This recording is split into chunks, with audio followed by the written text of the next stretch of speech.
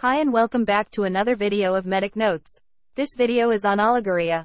For introduction of the terms, oliguria is described as less than 400 milliliters urine output per day in adults and less than 0.5 milliliter per kilogram per hour in children. Whereas another term anuria refers to urine output of less than 100 milliliters per day in adults. Oliguria is associated with causes that can be divided into pre-renal, renal, and post-renal causes. Pre-renal causes are dehydration, blood loss, sepsis, cardiac failure, burns, drugs, and anaphylaxis. Renal causes are acute tubular necrosis, drugs, toxins, glomerulonephritis, vascular cause like renal artery thrombosis, and interstitial nephritis.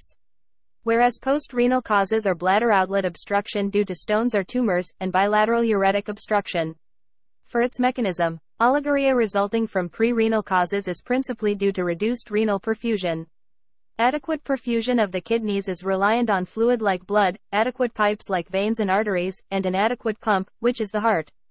Problems with one or more of these three elements, such as dehydration, sepsis, or heart failure, results in underperfusion of the kidneys. The kidneys are exquisitely sensitive to decreased circulating volume or flow, and have a number of compensatory mechanisms to activate, such as the renin-angiotensin II system, which ultimately results in retention of salt and water, and therefore less urine being passed. For renal causes, there is intrinsic renal impairment, causing oliguria that results from structural damage to the kidneys. If there is significant enough insult to the renal architecture, the kidneys cannot filter or function to produce urine. For post-renal causes, Obstruction of the ureters, bladder, or urethra will prevent urine from being passed. If this occurs for long enough, it can cause intrinsic damage to the kidneys, further affecting urine production.